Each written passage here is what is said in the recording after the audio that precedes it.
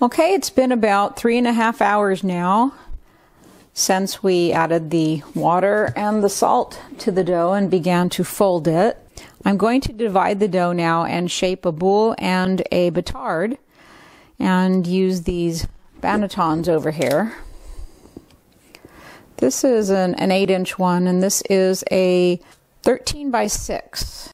So the 13 by 6 holds a, a, kilogram of dough, and it's going to need a little bit more dough than the 8 inch round banneton. So I'll just eyeball one a little bit bigger than the other, and then we'll see how much I've got.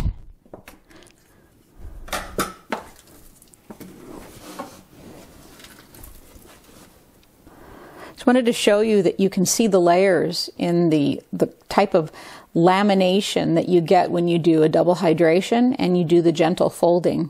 Now, if you did this in a mixer, you wouldn't get this, but this helps the uh, the dough when it springs up in the oven to have nice, large, airy holes in the crumb. Sticky.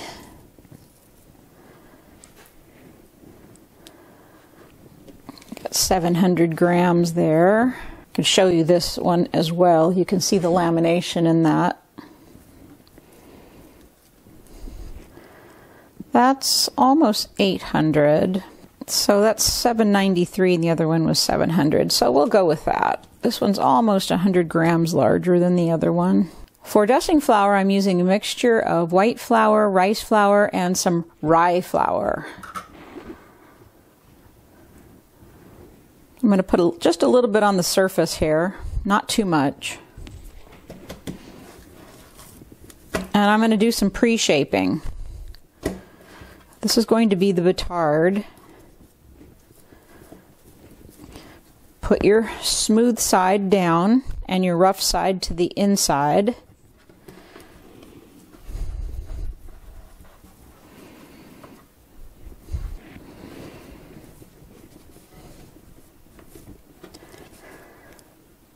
Trying to stick to my fingers. Get a little bit of flour on there.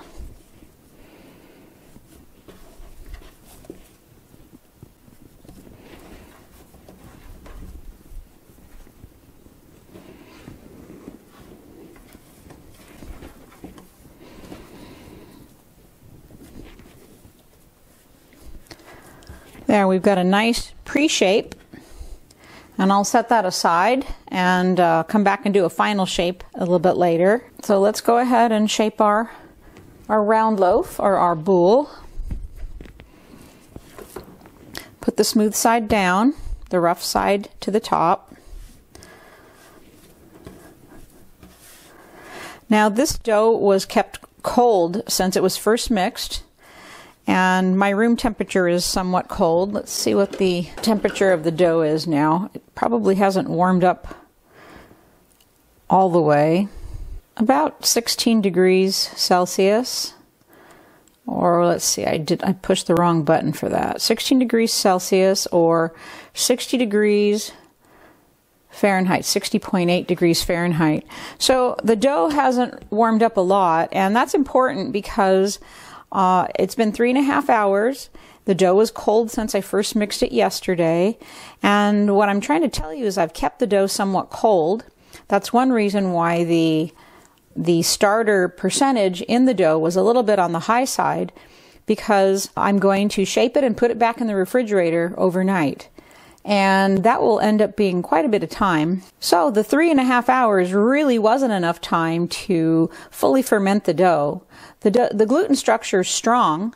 It's, that's doing well, but it doesn't have a lot of bubbles. It has a few bubbles, but it does need more fermentation, and we're going to do that in the cold refrigerator.